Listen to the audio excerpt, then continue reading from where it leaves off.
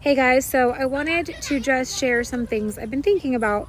So, the phrase salvation issue. So, I hear that phrase being thrown around a lot by believers. So, they say, well, I don't care about that, it's not a salvation issue, or that doesn't matter, it's not a salvation issue, or I'm not, it doesn't matter what the Bible says, or I'm not going to look into it.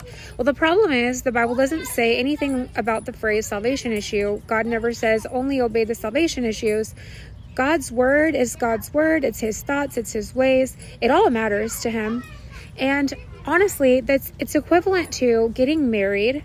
So say you get married and you tell your husband, "Well, I'm only going to do whatever you say that is not going to be contingent on a divorce. So I'll do whatever you want in this way as long as you don't divorce me." But I don't care about the rest. I don't care how you feel about anything else because you're not going to divorce me. So I'm going to do what I want to do. We're really doing that to God when we say, oh, well, that's not a salvation issue.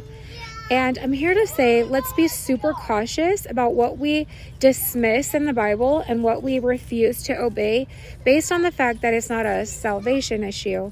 We want to make sure that we have hearts that are obedient to God and that love Him and that want to obey Him and want to live for Him and want to serve Him, whether it means eternity with Him or just service and obedience to Him on earth.